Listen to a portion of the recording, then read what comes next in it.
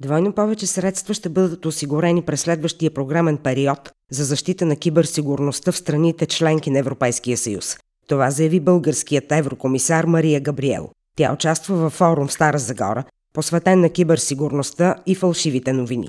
Програмите, които позволяват по-голям финансов ресурс, са две.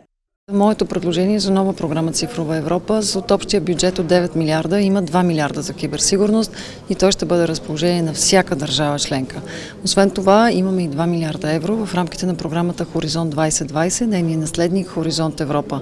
С това увеличаваме с 50% бюджета за киберсигурност, но нещо повече трябва да бъде постигнато. Всяка една от държавите членки да има средства, но и Нашето предложение за общ европейски киберцентър, който да позволява тази координация да се случва.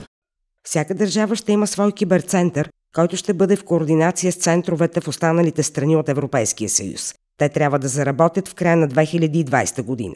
Мария Габриел посочи и част от мерките за защита на киберсигурността по време на европейските избори януари месец стартира група, която позволи да има по-добра координация между тези органи по киберсигурност, но и националните избирателни комисии, Европейския парламент и Европейската комисия, европейските институции.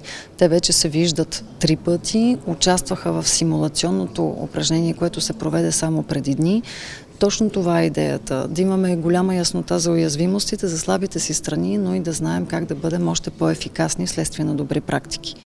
За да намалят дезинформацията в интернет, платформите и социалните мрежи се съгласиха да изпълняват доброволно конкретни мерки, но ако те не дадат добър резултат, ще се пристъпи към законодателни регулации, каза още Мария Габриел. Тя добави, че над 90 милиона фалшиви профили има във Фейсбук, които трябва да бъдат премахнати. През първите три месеца на годината Google е премахнал над 76 000 фалшиви акаунта.